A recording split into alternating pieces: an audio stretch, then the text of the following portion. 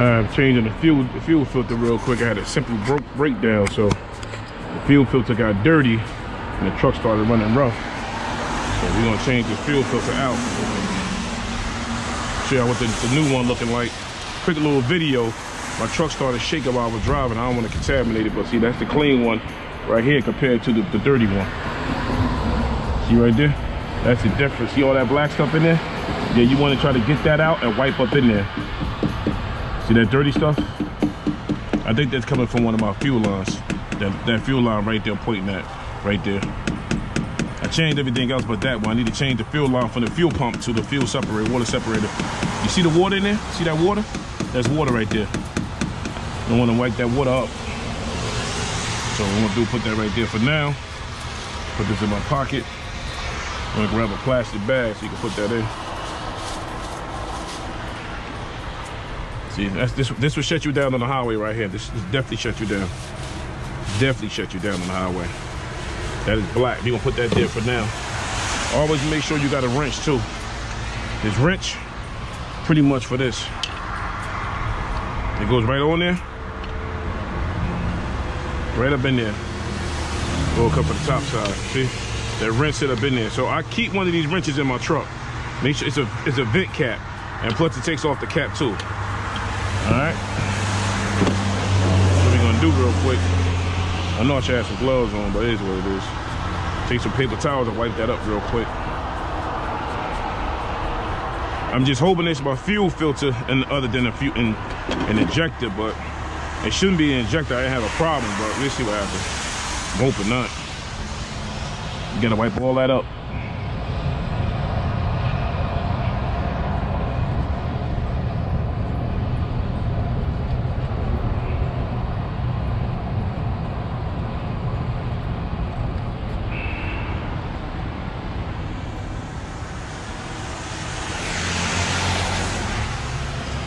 Wipe it all up. We're gonna dump the rest of it out inside that container right there. When you're the road like this, usually I put a bottle of 911 in here, but I don't have a bottle right now because it's emergency, so I gotta try to pour some of this back in the fuel tank. Not all of it though. And what you wanna do while you're under here, you wanna hit this little nozzle right here. Whatever's left in there, let it go down. That's all. Try to hold it so you don't spill it. Close it off, and that's it. See, bottle 911, that's what I usually put back in there, but I ain't got no more right now. So pretty much what you're gonna do is this.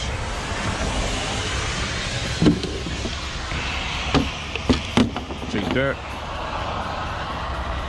Another paper towel. So happen when in cold weather situations, you gotta make sure you got filters on hand. That could go there.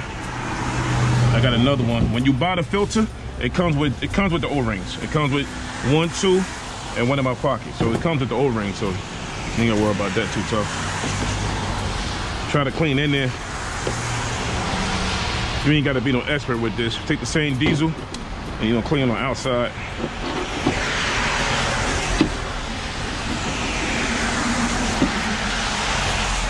Try to clean some of the dirt off. Don't worry about the gloves. Don't worry about the smell, because what's gonna happen is a tow truck wrecker come, hoping it's just a problem. You can always buy new gloves. Don't worry about all that. Wrecker come, they're gonna charge your arm and a leg, you know, to get you towed, to get you to a shop. If anything, I call the company I'm leased on to, and I see if they could come down here and give me a hand. But right now, this is about the simplest thing that you can do, really. Just like I said, wipe in there. Put all of it in a little bag right there. Like I said before, it gonna come with his own kit. What we gonna do, we're gonna take this O-ring here. We don't need that big one. Just this one right here. Now the O-ring goes on top here. I don't wanna move, moving too fast, but it goes there. This goes here. Try to get it to sit firmly. There you go. This right here, this stays in. This goes on top of this right here.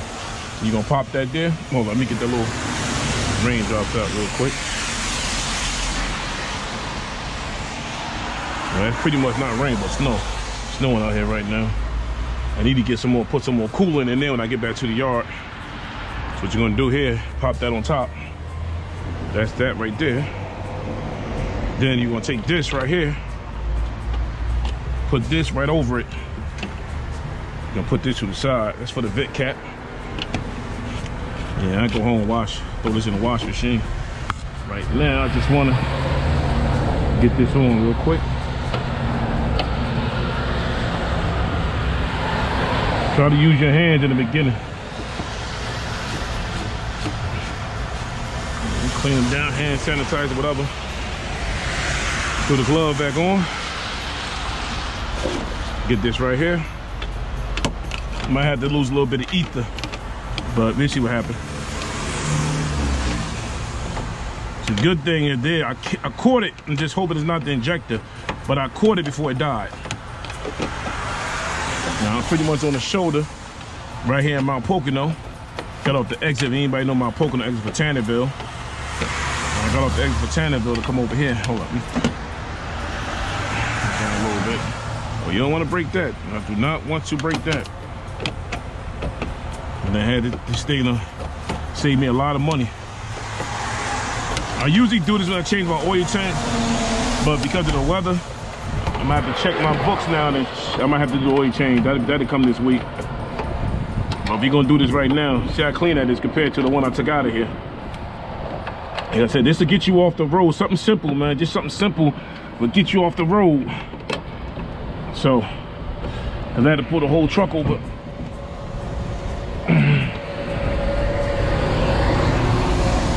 Just a little tight. You don't want it too tight? Just a little bit. Just a little snug. Woo, that's that.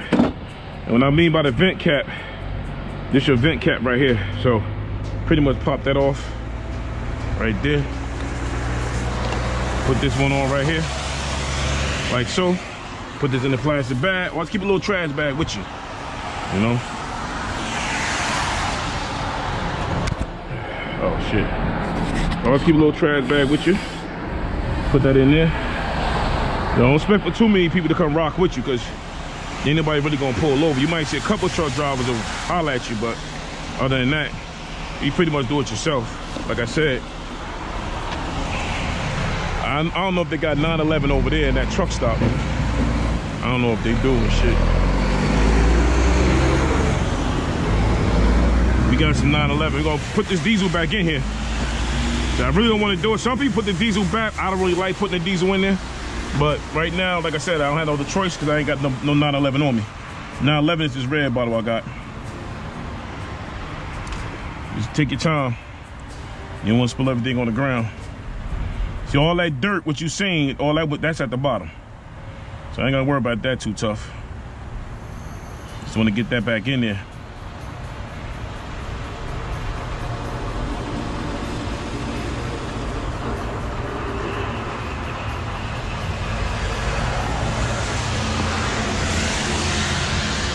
Make sure that vent cap, make sure that is up.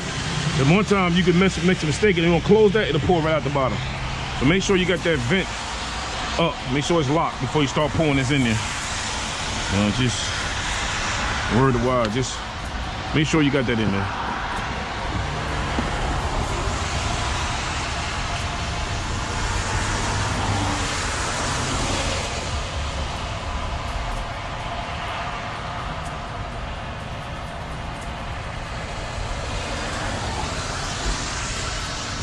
Might, I hope they got, they might have some 911 in there. So I might have to go across the street if I ain't got enough to start the truck, but right now we're gonna try to get it. Get as much as I can get in there.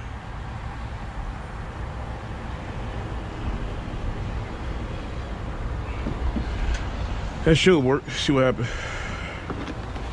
Hopefully it'll work. There's the vent cap right here. Put this, make sure you gotta put this back on. Put that back on. I should have enough. I don't think I have enough, but you gotta try to get it filled right here, but hope they got some across the street. Turn into a click. I'll leave everything here. Let's get back in the truck and see what it is.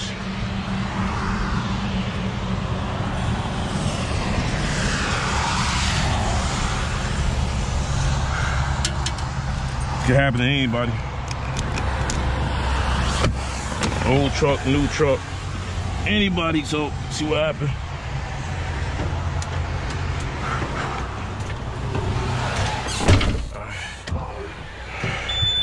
Turn that, turn this off. Turn that off.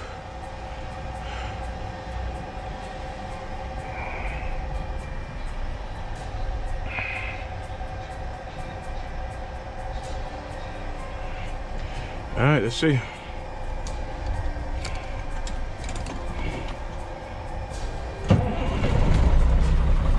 All you gotta do is give it gas.